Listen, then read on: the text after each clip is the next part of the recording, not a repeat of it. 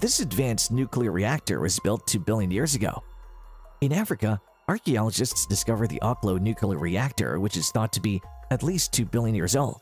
The main distinction was that it was far more advanced than a modern nuclear reactor and could produce electricity using just 100% pure water, which is still impossible by today's standards. Its drawback was that it could result in a nuclear meltdown if the water used was even slightly polluted or impure. Scientists have long suggested that the nuclear reactor is a natural phenomenon. Yet, data analysis suggests that a civilization far more advanced than ours actually developed this. So how is it possible that